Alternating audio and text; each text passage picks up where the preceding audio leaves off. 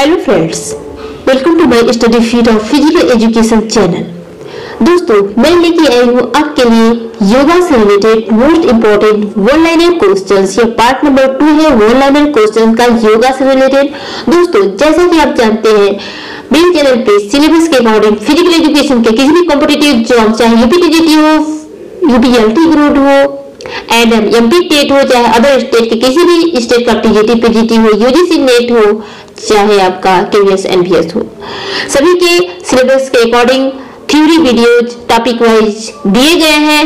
Channel की playlist में जाकर के आप सभी वीडियोज़ को देख सकते हैं। एंड दोस्तों चैप्टर वाइज एमसीक्यूज भी कराया गया है और हंड्रेड से ज़्यादा वीडियोज़ प्रीवियस एमसीक्यूज के भी बनाए गए हैं। और डेली बेसिस पे मैं आपके लिए प्रैक्टिस करा भी रही हूँ। तो चलिए चलते हैं, समय नष्ट न करते हुए प्रश्नों की तरफ़।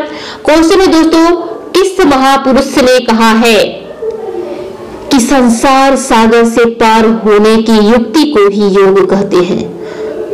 तो इस बात को कहे हैं कि संसार सागर से पार होने की युक्ति को ही योग कहते हैं, योग विशिष्ट ने कहा है। नेक्स्ट है, योग किस देश की सबसे प्राचीनतम विधा है? तो भारत देश की है। भारत देश की योग जो है सबसे प्राचीनतम विद्या है। नेक्स्ट है महर्षि पतंजलि ने योग दर्शन में एक योग सूत्रों की रचना की है, जिन्हें किन चार अध्यायों में बांटा गया है। तो दोस्तों, महर्षि पतंजलि ने योग दर्शन की रचना की है, ये भी याद रखिएगा। और उन्होंने उसमें एक सौ पंचानवे योग सूत्रों की रचना की है और उनके एक सौ पंचानवे योग सूत्रों को चार भागों में बांटा गया है समाधि पाद साधना पाद, विभूति पाद एवं कैवल्य पाद। नेक्स्ट है, हार्निया रोग में लाभदायक आसन है। तो दोस्तों, हार्निया रोग में धनुरासन आपका लाभदायक होता है। नेक्स्ट है, रक्तचाप में कौन सा आसन सबसे लाभप्रद है? तो रक्तचाप में सवासन सबसे अच्छा लाभप्रद है। नेक्स्ट है पद्मासन पवन मुक्तासन भुजंगासन सलभासन, मुख्य रूप से किस रोग से में लाभकारी है? तो ये सभी पेट की बीमारियों में लाभकारी है। पद्मासन पवन मुक्तासन भुजंगासन सलभासन, ये सभी पेट की बीमारियों में लाभकारी है। नेक्स्ट है धनुरासन, सलभासन, सूर्य नमस्कार, आसन मुख्यतः किन रोगों में फ़ायदा पहुंचाते हैं? तो दो, दोस्तों धनुरासन सलभासन सूर्य नमस्कार ये सभी मधुमेह रोग में फ़ायदा पहुंचाते हैं। नेक्स्ट है प्राणायाम की मुख्यतः कितनी क्रियाएँ होती हैं दोस्तों? तो प्राणायाम का मतलब ही होता है सांसों पर नियंत्रण करना। तो इसमें तीन क्रियाएँ होती हैं। नेक्स्ट क्वेश्चन है प्राणायाम में मुख्यतः कौन सी तीन क्रिया होती है दोस्तों? तो तीन क्रिया होती है, पूरक, कुंभक और रेचक। पूरक का मतलब होता है सांस को अंदर खींचना, कुंभक का मतलब होता है सांस को अंदर रोकना, और रेचक का मतलब होता है सांस को बाहर निकालना। नेक्स्ट दोस्तों, प्राणायाम में श्वास को खींचना कहलाता है। तो दोस्तों, श्वास को खींचना कहलाता है पूरक। क्या कहलाता है? पूरक। है प्राणायाम में भरे हुए श्वास को भीतर ही रोकना क्या कहलाता है? तो यह कहलाता है कुंभक। नेक्स्ट है श्वास को बाहर निकाला क्या कहलाता है? तो वह रेचक कहलाता है। नेक्स्ट दोस्तों, प्राणायाम के अंतर्गत कुंभक के कितने भेद माने गए हैं? तो दोस्तों, प्राणायाम के अंतर्गत कुंभक के सात भेद माने गए हैं। तो आपका कुंभक का भेद नहीं है तो यज्ञ जो है, कुंभक का भेद नहीं है। है प्राणायाम के अतिरिक्त सटकर्म में कितनी क्रियाएँ मानी गई हैं? तो दोस्तों सटकर्म में छह क्रियाएँ होती हैं। जैसा कि मैंने आपको सटकर्म के बारे में सटकर्म वाले वीडियो में डिटेल में बताया हुआ है कि सटकर्म जो है, ती, छह होती है। नेति, दोती, नौली, बस्ती, कपाल भाटी और त्राटक। नेति, दोती, नौली, बस्ती, कपाल भाती और त्राटक। इस छह शुद्धि क्रियाएँ होती हैं। तो नेति क्या होता है? यह नासिका द्वार को साफ़ और स्वच्छ बनाने की क्रिया है, होती है। इसमें जल नेति, सूत्र नेति आदि का प्रयोग किया जाता है। और जो दोती होता है, यह स्वच्छ क्रिया की क्रमवार है। यह मुँह से गुहा तक की तक पूरी अमाशय नली को साफ़ करने के लिए होती है। जो नोली होती है, उदर के अंगों की मालिश करती है और मज़बूत बनाती है। दाया नोली बाहा नोली होता है। और मध्य नोली। जो बस्ती होता है, वो बड़ी आंत को धोने में मज़बूत बनाने में लाभप्रद होता है। जो कपाल भाती होता है, वो मस्तिष्क के अग्रभाग को पवित्र करने की सांस लेने की क्रिया है। और जो त्राटक होता है, वह एक बिंदु या वस्तु पर लगातार देखने का व्यायाम होता है जिससे केंद्रित करने की शक्ति बढ़ती है। नेक्स्ट क्वेश्चन है दोस्तों कि नेति दोती नौली, बस्ती त्राटक कपाल भाती एक क्रिया किसके अंतर्गत आती है? तो मैं जस्ट बताई है सटकर्म के अंतर्गत आती है। नेक्स्ट क्वेश्चन है दोस्तों, धोती क्रिया के वार धोती रूप को क्या कहा जाता है? तो धोती क्रिया के वार धोती रूप को कुंजल बोला जाता है। नेक्स्ट क्वेश्चन है दोस्तों की प्राणायाम में श्वास वायु को कितनी देर शरीर के अंदर रोकना पड़ता है? तो जो प्राणायाम हम करते हैं तो हम सांस लेते हैं, उसको पूर्वक बोला जाता है, जो रोकते हैं, उसको कुंभक बोला जाता है, जो छोड़ते हैं, उसको रेचक बोला जाता है। तो यहाँ पूछ रहा है कि श्वास वायु को कितनी देर तक शरीर में रोकना अच्छा होता है रोकना पड़ता है प्राणायाम में? तो जितना श्वास भरने में समय लगता है, उससे चार गुना ज़्यादा समय तक हमको श्वास में, श्वास को अंदर रोकना चाहिए। नेक्स्ट योग के किस चरण में ज्ञान इंद्रियों पर नियंत्रण किया जाता है? तो दोस्तों, प्रत्याहार में जैसे कि योग के आठ चरण होते हैं, महर्षि पतंजलि ने अपने योग सूत्र में योग के आठ चरण बताए हैं, जो अष्टांग योग के अंतर्गत आता है, यम, नियम, आसन, प्राणायाम, प्रत्याहार, धारा, ध्यान, समाधि। जिसे प्रत्याहार जो होता है, वो ज्ञान इंद्रियों पर नियंत्रण के लिए किया जाता है। नेक्स्ट योग नियंत्रण के किस चरण में श्वास नियंत्रण की साधना की जाती है? तो दोस्तों, प्राणायाम में श्वास पर नियंत्रण किया जाता है। नेक्स्ट है योग के किस चरण में शरीर की स्वच्छता, संतोष, संयम, अध्ययन, भगवान के प्रति भक्ति बताई जाती है तो उसमें होता है नियम में इसमें व्यक्तिगत स्वच्छता पर ध्यान दिया जाता है। व्यक्तिगत क्रिया पर नेक्स्ट योग के किस चरण में ध्यान एक एवं एकाग्र का अनुभव किया जाता है तो दोस्तों यह होता है समाधि। आठवां भाग आपका, आठवां चरण होता है समाधि। नेक्स्ट बस्ती क्रिया कितने प्रकार की होती है? तो दोस्तों, यह होता है जल बस्ती, पवन बस्ती, सेक प्रक्षारण क्रिया। दोस्तों, की रक्तचाप के उपचार हेतु कौन सा आसन लाभदायक होता है? तो यह श्वसन और मयूरासन लाभदायक होता है रक्तचाप में। श्वसन है दोस्तों, रक्तचाप के उपचार में उपचार हेतु कौन सा आसन लाभदायक होता है? यहाँ श्वासन लिख दिया है सवासन होगा, ठीक है? रक्तचाप में सवासन और मयूरासन लाभदायक होगा। सवासन और मयूरासन लाभदायक होगा। नेक्स्ट है किस आसन में शरीर की मुद्रा एक मोर के समान होती है तो वह होती है मयूर आसन में। नेक्स्ट है डायबिटीज़ के लिए कौन सा आसन उपयोगी है? तो डायबिटीज़ के लिए हलासन, चक्रासन, मत्स्यासन उपयोगी होता है। नेक्स्ट है सूर्य नमस्कार गोमुख आसन पश्चिमोत्तरासन एवं सर्वांगासन ये आसन उपयोगी है तो ये सभी अस्थमा के लिए उपयोगी नेक्स्ट है कब्ज तथा बवासीर के लिए कौन सा आसन उपयोगी होता है? तो कब्ज और बवासीर के लिए चक्रासन, धनुरासन वज्रासन सर्पासन और हलासन आसन उपयोगी होता है। नेक्स्ट दोस्तों, कमर दर्द के रोगियों को लिए कौन सा आसन लाभदायक होता है? तो यह सर्वांग आसन लाभदायक होता है कमर दर्द के रोगियों के लिए।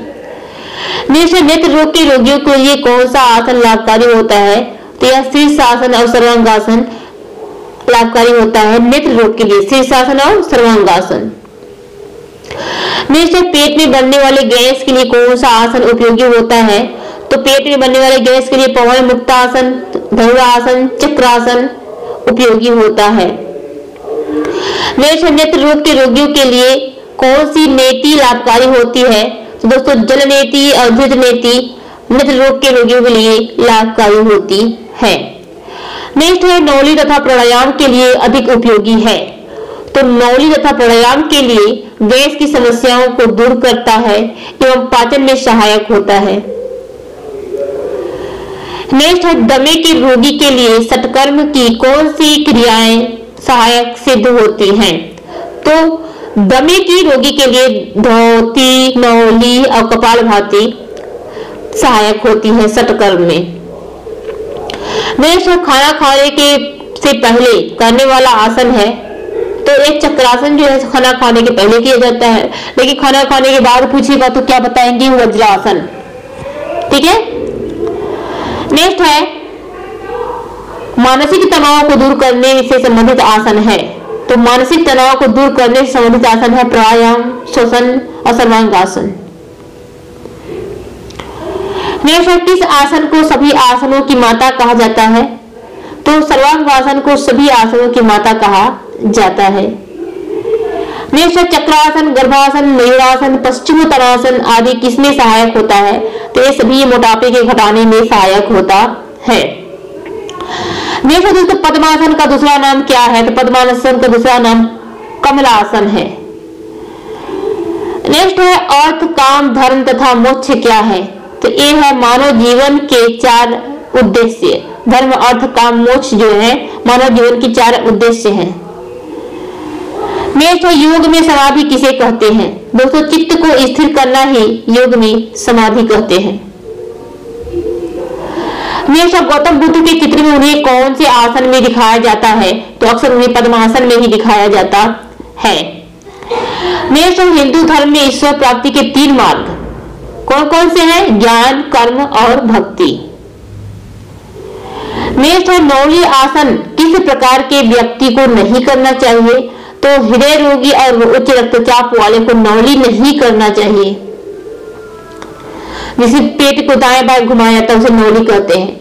किसी वस्तु को बिना पलक झपकाए या बिना पुतलियों को झुलाए लगातार एकटक देखना क्या कहलाता है? तो यह कहलाता है त्राटक। इसमें मान एकाग्रता आती है। नेक्स्ट दोस्तों कुंजल क्रिया कब करनी चाहिए? तो हमेशा खाली पेट कुंजल क्रिया करनी चाहिए। नेक्स्ट है, हल के आकार का कौन सा आसन होता है? तो हलासन जो है, हल के आकार का होता है। नेक्स्ट है, बैठकर करने वाला आसन कौन सा नहीं है? तो चक्रासन जो है, वह बैठ के नहीं किया जाता है। उसको चक्रासन जो है, बैठ के नहीं किया जाता है। इसमें आपका दो, सिर एक तरफ़ रहेगा और पैर जो होता है, वो एक तरफ़ रहेगा। ठीक है? पैर एक तरफ़ रहेगा और हाथ ऐसे रहेगा। ठीक है? एक चक्रासन रहता है। नेक्स्ट है दोस्तों, खड़े होकर करने वाला कौन सा आसन होता है? तो जो नटरासन है नटराज नटराज आसन है, वह खड़े होकर करने वाला आसन है। नेक्स्ट है मुर्गी की तरह दिखने वाला आ, कौन सा आसन होता है? तो कुक्कुट आसन है जो मुर्गी की तरह दिखता है। नेक्स्ट है कुंभाका वीरभद्रासन उत्कटासन चंद्रासन पद्मगोस्तासन आदि किस प्रकार के आसन है? तो ये सभी के सभी क्या है? खड़े होकर करने वाले आसन है। नेक्स्ट है स्वान आसन मत्स्यन्द्रासन पद्मासन, पश्चिमोत्तनासन मेरुदंडासन सुखासन आदि किस प्रकार के से करने वाला आसन है। तो दोस्तों, यहाँ पे आपको ये ध्यान देना चाहिए कि इतने सारे आसन को पूछा गया है, लेकिन आपको इसमें सबसे ज़्यादा आ रहा होगा तो पद्मासन। पद्मासन के बारे में तो आप तो जानते ही हैं कि बैठ कर करने वाला है। तो जब ये सभी एक ही के करने वाला आसन है तो पद्मासन जान रहे हैं कि बैठ के करने वाला है तो सभी बैठ के करने वाला होगा। तो यहाँ पे ऐसे करके आप पहचानिएगा, बैठ कर करने वाले सभी आसन है। पश्चिमोत्तरासन समासन मसेंद्रासन नेक्स्ट है, सवासन, हलासन, भुजंगासन आदि किस प्रकार से करके करने वाला आसन है तो ये सभी लेट कर किया जाता है। नेक्स्ट है, आंत की बीमारियों के लिए कौन सा आसन अपनाए जाते हैं? तो आंत की बीमारियों के लिए गर्भासन, बड़ा हस्त पदासन सूर्य नमस्कार आदि अपनाया जाता है। है कान के दर्द के निवारण के लिए कौन सा आसन उपयोगी होता है? तो सिद्धासन और अर्धमस्यंदासन यह सिद्ध होता है कान के बीमारी के लिए।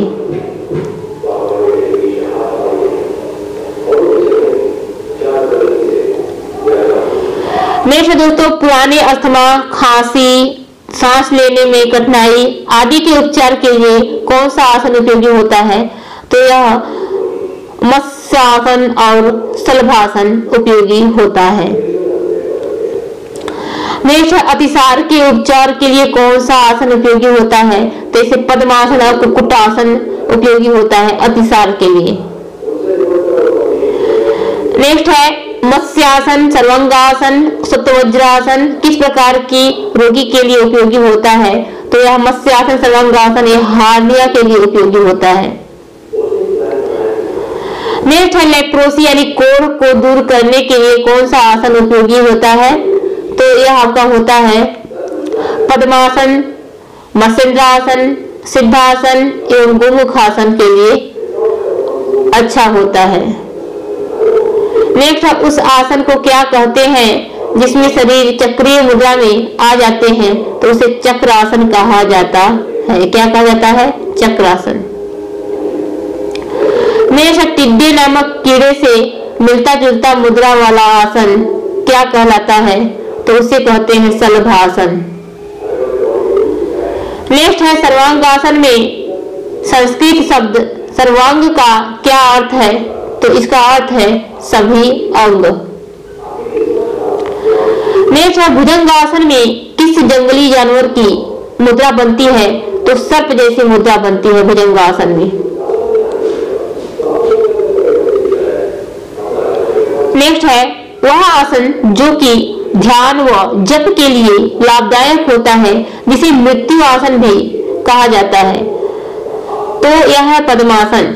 दोस्तों मृत्यु आसन तो सवासन को बोला जाता है बट यहाँ भी इसको दिया है। लेकिन ध्यान जप ध्यान जप एक की पॉइंट है आपके लिए। ध्यान जप के लिए ऐसा पद्मासन लोग करते हैं तो ये ध्यान में रखिएगा। पद्मासन में पद का शाब्दिक अर्थ है कमल। नेक्स्ट है ग्रीस के लोग किस सिद्धांत में विश्वास करते थे? तो वह स्वस्थ शरीर में ही स्वस्थ मस्तिष्क रहता है। इस बात में विश्वास करते थे और इस बात को कहे हैं अरस्तु ने। नेक्स्ट है प्राण जो संस्कृत शब्द है, जिसका शाब्दिक अर्थ क्या है? आवश्यक शक्ति। प्राण ही तो आवश्यक शक्ति है। इसका संस्कृत शब्द है, जिसका अर्थ है आवश्यक शक्ति। नेक्स्ट है शरीर में रहने वाली आवश्यक शक्ति को उत्प्रेरित करना एवं शारीरिक शक्ति को नियमित एवं संतुलित बनाना किसके उद्देश्य है? इस सभी प्राणायाम के उद्देश्य हैं। दोस्तों, प्राणायाम का मतलब ही होता है सांसों पर नियंत्रण करना। सांस यानी जो वायु है, ऑक्सीजन है प्राण वायु है, वो हमारी आवश्यक शक्ति है। उसके बिना कोई भी जीवित नहीं रह सकता। उसी को नियमित और संतुलित किया जाता है प्राणायाम के द्वारा। नेक्स्ट आसन किन किन मुद्राओं में किया जाता है। तो दोस्तों, आसन लेट कर भी किया जाता है बैठ कर भी किया जाता है खड़े होकर भी किया जाता है। नेक्स्ट योग करने के लिए सबसे सही और आदर्श समय कौन सा होता है? तो हमेशा प्रातः काल ही सबसे आदर्श समय होता है। नेक्स्ट इंद्रियों को बस करने वाला योग कौन सा है? तो होता है प्रत्याहार। नेक्स्ट है मन को स्वतंत्र रखने वाला योग कौन सा है? वो होता है मंत्र योग। नेक्स्ट है व्यक्ति को जानते हुए विलप करने वाला योग कौन है? तो वह होता है लय योग, यहाँ भक्ति योग दे दिया है, ठीक है? लय योग होगा। नेक्स्ट है, मन को पवित्र करने वाला, करने हेतु क्या आवश्यक है तो प्राणायाम आवश्यक है। नेक्स्ट है, पुरानी कब्ज के उपचार हेतु उपयोगी आसन है तो हलासन आवश्यक है, पुरानी कब्ज को दूर करने के लिए। नेक्स्ट है, योगी मत्स्येंद्र की देन है तो यह है मत्स्येंद्र आसन नेक्स्ट है हनुमान आसन किसे कहते हैं? तो वीरासन को हनुमान आसन बोला जाता है। नेक्स्ट टीबी व दमा के रोगियों के लिए कौन सा आसन उपयोगी होता है? तो शीर्ष आसन और सर्वांग आसन टीबी दमा के लिए उपयोगी होता है। नेक्स्ट है आधे चाँद वाली मुद्रा वाला आसन है तो मत्स्येंद्र आसन है। नेक्स्ट है किस आसन के तीन अक्षर, सिंह, इंद्र तथा शुक्र ग्रह के द्योतक हैं। तो यह है सलभासन। यह तीन अक्षर शिव इंद्र और शुक्र के द्योतक हैं। नेक्स्ट है, रक्त की अशुद्धता को दूर करने के लिए उपयोगी आसन है। तो जो रक्त की अशुद्धता होती है, उसको दूर करने के लिए उपयोगी आसन है कुक्कुट आसन और शीर्षासन। क्या है? कुक्कुट आसन और शीर्षासन। नेक्स्ट है, योग के आठ चरणों में सामाजिक अनुशासन के नाम से जाना जाता है। तो यम जो है, सामाजिक अनुशासन के नाम से जाना जाता है, जिसके अंतर्गत सत्य, अहिंसा, अस्तेय, ब्रह्मचर्य, अपरिग्रह आता है। ये पाँच चीज़ें है। योग के आठ चरणों में व्यक्तिगत अनुशासन के नाम से जाना जाता है तो होता है नियम। तो दोस्तों, आज के लिए बस इतना ही। आई होप कि सभी क्वेश्चंस आपको समझ में आए होंगे। योगा से रिलेटेड सभी क्वेश्चंस थे। तो दोस्तों, जो भी डाउट होगा मुझे कमेंट में ज़रूर बताइए और ज़्यादा से ज़्यादा वीडियो को शेयर भी कीजिए कीजिए और बेहतरीन तैयारी के लिए मेरे चैनल पर डेली बेसिस पे जुड़ जाइए और फ़र्स्ट बार विज़िट कर रहे हैं तो चैनल को सब्सक्राइब कर लीजिए बेलाइकन को प्रेस कर लीजिए, जिससे न्यू वीडियो का अपडेट आप तक पहुँचता रहेगा। तो मिलते हैं नेक्स्ट वीडियो में, तब तक के लिए।